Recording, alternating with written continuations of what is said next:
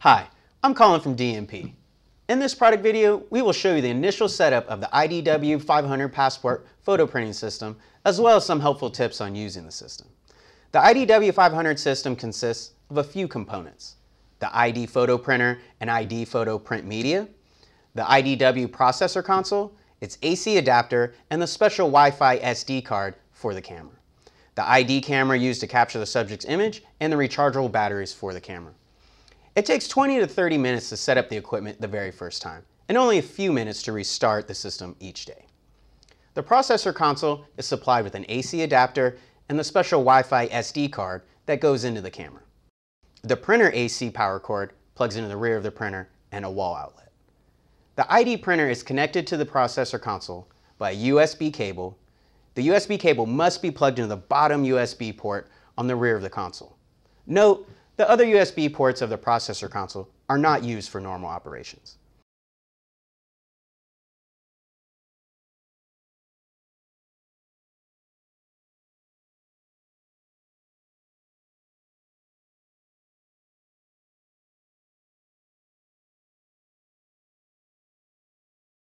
The other end of the USB cable is plugged in the printer USB port. The printer power switch is located right next to the power and USB cable ports. The console comes with a SD Wi-Fi card for the camera that is paired to the processor console.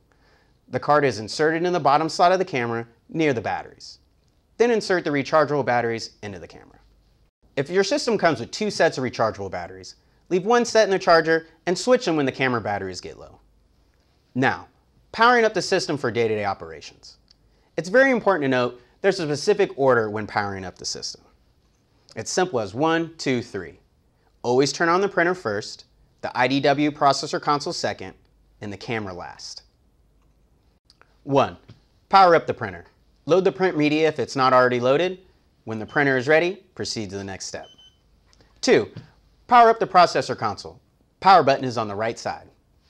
Note, the console is like a cell phone. You must hold the power button in for a few seconds for it to start. You'll see a red light on the side of the console when it starts and the logo will appear on the console screen. The console will take about three minutes to complete startup and be ready. The display will show the progress of the boot up process. When the IDW booting completes, it'll print a power on, self-test, post printout. This indicates the processor and printer are working correctly. The third step is to power on the camera.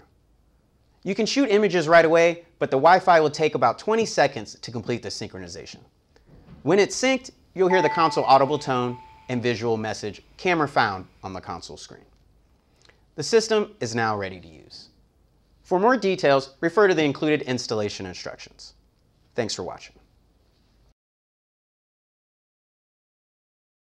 The printer for the IDW500 uses special ID print media. The carton contains a roll of paper and the spools of photo ink ribbons, enough for 350 prints in each set. Tip. Have the printer powered on when installing or replacing the print pack so the printer will initialize properly. Begin by opening the printer front door using the latch handle on the top front of the printer. Squeeze the handle to unlatch and open the door toward you all the way.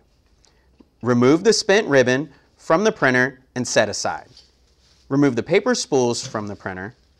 Remove the spools from the paper and set them aside for reuse.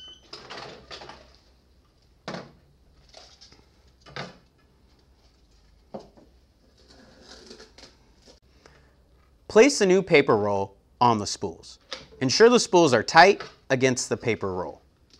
Place the paper spool into the printer with the tail coming over the top towards the front. Thread the paper into the printer between the bracket bar and silver roller as indicated by the label. Continue to feed the paper towards the front until the printer beeps. Next, Place the ribbon spools into the cradles. The left side of the ribbon core is inserted first. It is spring loaded. Then the right side snaps into place. Install the lower one first and repeat for the upper yellow ended take-up core. Note the yellow end goes into the yellow cradle. Complete by rotating the upper ribbon spool to take up any slack. Close the front door firmly. The printer will then initialize and eject five blank sheets of paper. The printer will show only the green power light when it completes initializing successfully, and it's ready for printing. The console will show the printer status and report the print's remaining count on the display. Thanks for watching. Prepare the shooting area. For a good photo, it's important to have the right lighting conditions. Soft, bright light, evenly illuminating the subject is best.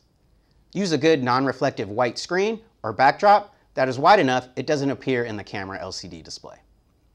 A white wall will suffice if it has a flat, non-glossy finish. The camera image capture results will vary if the guidelines are not followed. Avoid harsh light from any angle. For example, sunlight on one side of the face will cause shadows. For dimly lit shooting areas, the camera flash can be used. Note, the camera flash can also be set to enable the red eye reduction. Turn it off when it's not needed. Shooting the photo. Now, set the subject for the photo shoot. Place the subject close to the backdrop. Instruct them to hold their head up and look into the lens. Stand back with the camera about six feet from the subject, and with the camera lens level with the subject's eyes, double check the lighting. Use the flash if necessary. Use the camera zoom to get the proper head size inside the LCD guide. And press the shutter button slow and steady to take the photo. Once the photo is taken, you're ready to transfer it to the IDW console. Press the play button on the camera back. The image will appear on the LCD. Take a quick look to confirm it looks good, it's sized right, and the eyes are open. Press the menu button, then press the navigation ring, top or bottom, to scroll through the menu until you reach DPOF. Now press the center select button to set the digital print flag. Note, the DPOF flag then appears on the LCD to the left of the image. Once DPOF is set, press the play button to exit play and go back to camera mode. This will allow the system to automatically clear the DPOF print flag. The image will be transferred to the console and processed for printing. Messages will appear on the console as it processes the image, and it will appear on the console screen once it's done.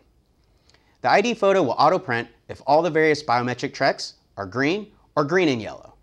You're ready for your next customer. Editing the image.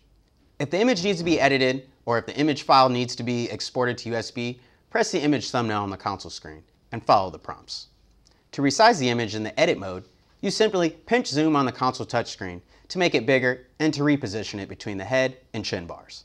Press accept to continue and print the image. The edit workflow allows you to reprint the image or to export the file to a USB memory device. The buttons appear on the print confirm screen. For more info on this topic, refer to the user guide. Shut down the system. Lastly, for this video segment, to power down the system, do it in reverse order. Camera off, console off second, and the printer off last. Be sure to use the shutdown button of the console to properly shut it down. Press the gear icon and then the shutdown button.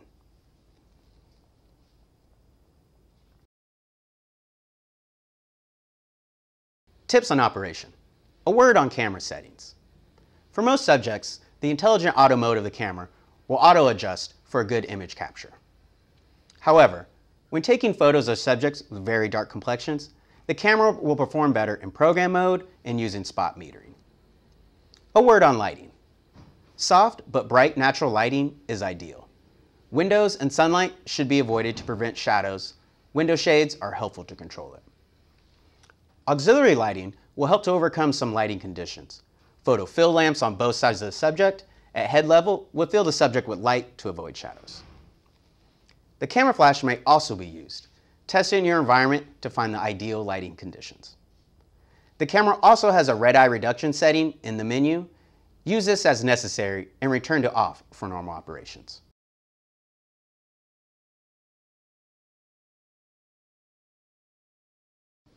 Hi, I'm Colin.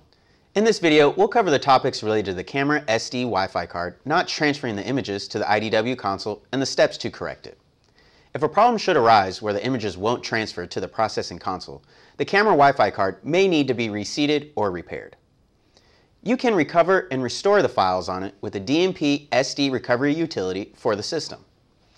But before using the SD recovery utility, try this simple fix. On some occasions, the SD card in the camera may not be seated and won't transfer any images. This can happen when changing the batteries, for example. To correct this situation, simply open the battery compartment and reseat the SD card. The card has a push-push latch. Push to release it and push again to seat the card. Close the battery cover and power up the camera. See that the console recognizes the camera after the usual Wi-Fi startup delay of about 15 to 20 seconds. The camera found sound and message will appear on the console screen. Now we'll demonstrate the IDW SD recovery utility.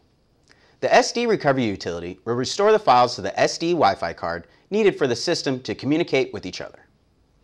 It will also set the system ID on the SD card that pairs the two together.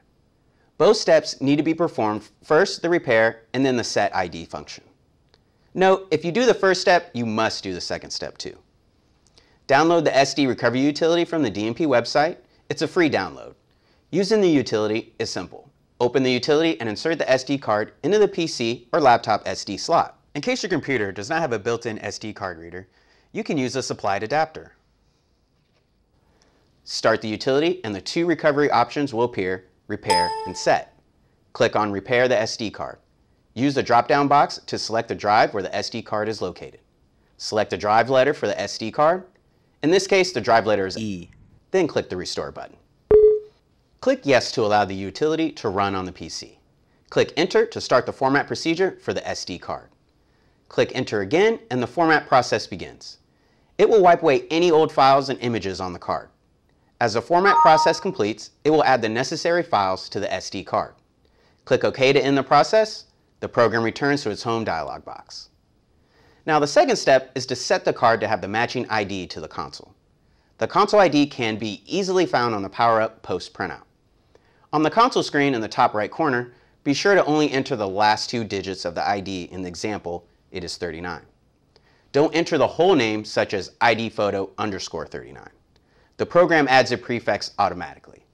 Click Set and it's done.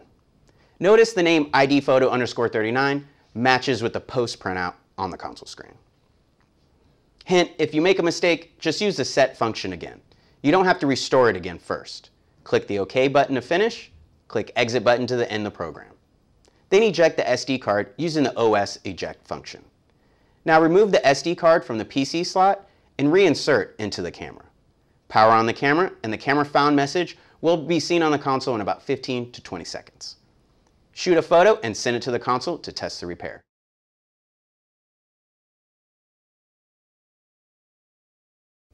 Hi, I'm Colin from DNP. The IDW500 is designed to be easy to use and reliable for many years. There are some simple things you can do to keep the system running smoothly. Some daily chores are to clear off the camera card of the images taken throughout the day. This is an easy chore to perform at the end of the day when shutting down. When deleting the old images on the H300 camera, it's usually easier to delete the entire image folder in the camera. Here are the steps. Go to Play Mode, scroll down the toolbox icon, press the center select button. Scroll down to the folder management section. Select the delete rec folder and click OK. You could also use the trash can icon on the camera's back panel. Press the trash can icon, scroll to delete all photos on this date. Doing this daily will clear all the images for the day.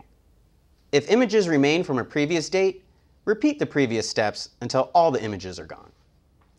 Next for housekeeping is to clear the images remaining in the image gallery of the console press the gear icon on the screen. Then press the Clear Image button and the images will be cleared. And while on this page, you can shut down the system by pressing the Shutdown button. Now for a few operation tips.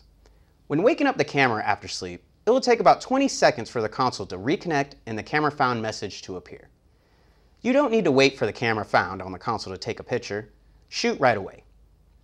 Always be sure the camera is set for 5 MB 4x3 file size.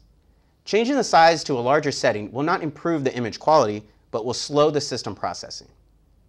Typically, it takes a few seconds for the image to transfer to the console once the digital print flag, or DPOF, is set for the image, and about a minute for the image processing to complete. Then the image will appear on the display in the image gallery and or auto print depending on how the configuration is set and the biometric result for the image. The printing will take about 15 seconds.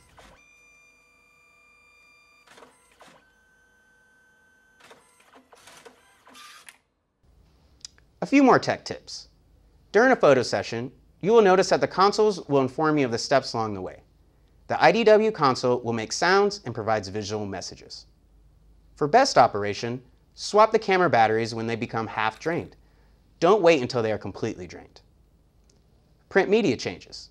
There are 350 sheets in a media set. The paper and ribbon are changed together as a set each time. There will always be a little paper remaining, simply discard it and install the new rolls together.